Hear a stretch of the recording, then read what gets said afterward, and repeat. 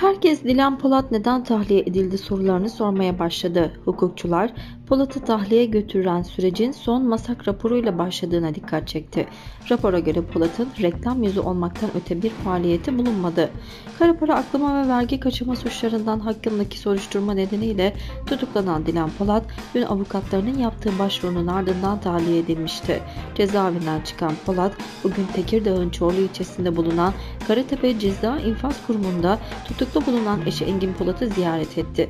Ziyaret sonrası Dilan Polat gazetecilerin sorduğu soruları yanıtsız bıraktı. Gazeteciler yönünü kardeşi Sıla Doğu'ya çevirdi. Engin ve Dilan birbirlerini ilk kez gördüler ve çok sevindiler dedi. Engin Polat'ın durumu nedir sorusuna ise Engin'in durumu hiç iyi değil cevabı alındı. Dilan Polat çocukları ve Engin Polat ile bir saat boyunca görüşteydiler. Dilan Polat görüşmeden çıktıktan sonra arabanın içinde ağladı.